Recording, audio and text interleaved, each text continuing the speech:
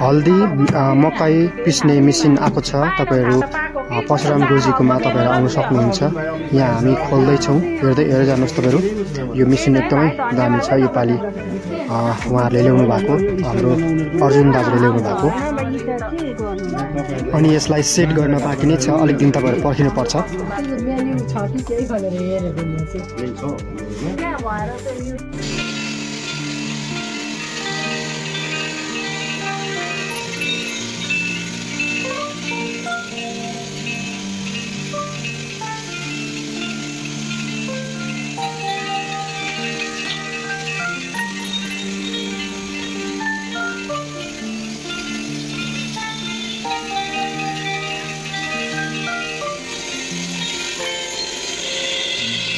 menu छ कि केही भनेर हेरेर चाहिँ मैं आपको बारीकियाँ ऐसी दिखाऊँगा कितनी अच्छी तरीके से जो है ये पिसाई हुई है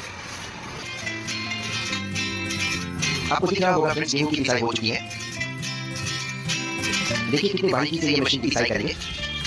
धनिया की पिसाई के लिए आपको चार नंबर जाली की आवश्यकता होगी